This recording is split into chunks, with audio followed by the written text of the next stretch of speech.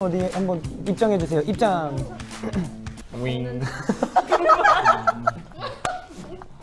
어 배고파. 오늘 먹을 거 없나? 엄마 치킨 시켜주세요. 응 아들 기다려. 살찌진 않겠지? 나에겐 간헐적 단식이 있잖아. 한번 먹어볼까? 윙. 엄마 치킨 상했어. 나는 오늘 절대 거짓말을 하지 않을 것이다. 살짝 애매해요. 그 쓸, 쓸 때도 있을 것 같고 그 MSG를 추가하려면 살짝 거짓말이 필요할 것 같거든요. 할 것이다. 거짓말 할 것이다. 오케이.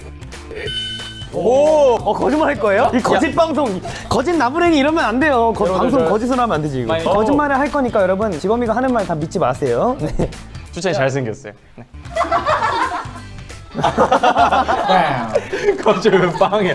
빵. 예. 아. 안녕하세요 봉재현입니다 안녕하세요 똑같은데, 똑같은데? 모든 순간이 선 명해 미스터 재현이를 너무 많이 놀렸기 때문에 그죠. 네. 그만 좀 놀릴 때 됐어. 또 새로운 놀림거리를 좀 찾아야 되지 않을까. 아 너무 진부해. 아 재현이의 또 버릇이 하나 있어요. 춤출 때 재현이만의 버릇이라고 해야 되나? 재현이가 뭐 이렇게 힘을 팍 주는 이런 게 있으면 항상 손이 이렇게 돼 있어요. 훅 이렇게 하는 춤이 있었는데 손을 이렇게 해야 돼요. 이렇게 해야 되는데 이게 손가락이 이렇게 그, 그, 왜 웃기죠 본인이? 저 잘 모르겠어요. 제 말투가 이제 서울 말이랑 이제 부산 말이랑 섞여가지고 네, 믹스 언어라고 하죠. 네, 두 개가 섞여가지고 재현이가 됐습니다.